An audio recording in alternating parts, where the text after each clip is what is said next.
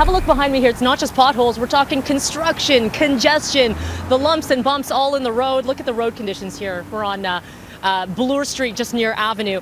There's a lot to complain about with the motorists, cyclists, uh, and everyone alike. Joining me now, Elliot Silverstein with the CAA. Elliot, uh, you're launching this campaign with us this morning here. What are you looking for? What are the big complaints? So the big complaints we hear uh, every year are that people are uh, frustrated with the congestion, some of the pothole issues, the damage to their vehicles, and just really the overall the wear and tear on the roads and ultimately their vehicles as well. Let's talk about in the past. The on the list in Toronto, we've seen a couple repeat offenders, including Dufferin and Bayview.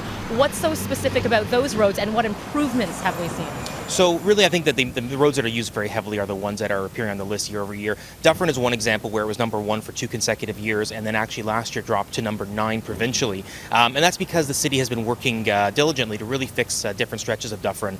This isn't just a fun list that people vote on. Change can happen from here because you present it to various levels of government and say, hey, we need to do something about these roads, right? Absolutely. It's very important. Uh, we, we, do encourage people to go to caaworstroads.com to vote. Um, these, this, this information actually helps us uh, work with all levels of government, talk about the need for uh, funding for roads and infrastructure, and uh, really your voice matters. Not just drivers as well. You want to hear from cyclists, pedestrians. We want to hear from everybody because everybody uses the road in a different manner, and certainly uh, the frustrations and the pain points for cyclists are different than those of pedestrians, are different than those of uh, motorists, and I think that everybody has an important role to help uh, improve our infrastructure across Ontario. We're hoping to try and get everything collected between now and May 1st, and uh, we'll release the uh, top 10 list provincially and our top five regional uh, later this spring.